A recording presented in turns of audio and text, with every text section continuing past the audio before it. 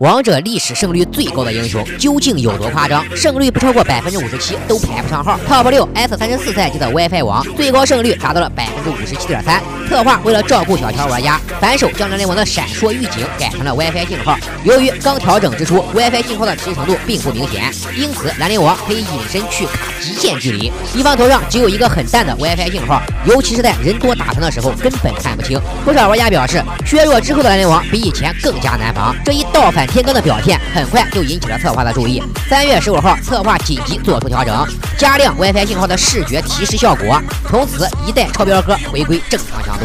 Top 五 S 三十二赛季的昆小满最高胜率高达百分之五十七点四四。上线之初，纪晓满和大多数刚上线的新英雄一样，表现并不突出。但随着玩家对这个英雄的理解越来越深，这破天的胜率终于藏不住了。巅峰赛的胜率一路飙升到百分之五十七点四四。纪晓满之所以这么离谱，主要是因为机制过于全面，不仅线上强度高，二级可以单杀大部分强势边路，后期更是能依靠着二二连招的无法选中，从容不迫的开团和撤场。虽然后续策划紧急降温，但伴随着半生期的上线，再次把绩效满热度推向热潮。当时的胜率一度超过百分之五十七，班率更是达到惊人的百分之八十。从此，边路七百草的称号传遍了整个峡谷。Top 四 S 二十八赛季的暗信历史最高胜率高达百分之五十八点一。自从 S 二十八赛季电刀增强，把球流爆火以后，暗信的强度就达到了史无前例的高峰。那时的暗信风光无限，力压群雄，神挡杀神，佛挡是佛。从南天门砍到蓬莱东路，再从百草园砍到三味书屋，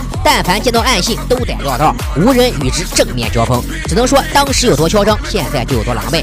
明明是电刀这种装备超标，但策划非要把矛头指向暗信，于是对着暗信连砍了好几刀。砍完移速砍攻速，砍完攻速砍加速，砍完加速砍飞踢，眼瞅着快把暗信的特色砍没了。紧接着策划反手修了电刀的属性，彻底修复了暗信还有人窝的 bug。Top 三 S 三十二赛季的赵怀真最高胜率达到了百分之五十八点六一。S 三十二赛季有很多超标怪，但要说哪个英雄最有代表性，非我手法大帝赵怀真莫属。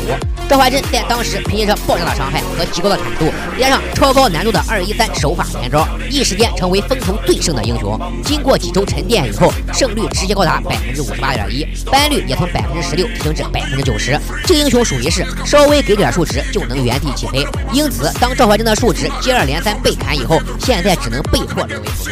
Top 二 S 三十五赛季野刀改版前的嫦娥，这个赛季唯一一个能触摸到百分之五十八胜率门槛的英雄非嫦娥莫属。但随着野刀改版，长手法系打野集体退出野区之后，嫦娥的表现就没那么亮眼了。目前嫦娥在全分段的胜率较之前均有明显的下滑。Top 一 S 三十赛季的成吉思汗。胜率直接突破六十大关。S 三十赛季策划取消攻速阈值以后，狼狗的胜率直接断层式领先。成吉思汗背负的 buff 实在是太多了，他的皮肤是下次一定的，他的登场率是全英雄垫底的，他的胜率却是历史最高的，感觉完全可以给成吉思汗申请一个峡谷吉尼斯世界纪录了。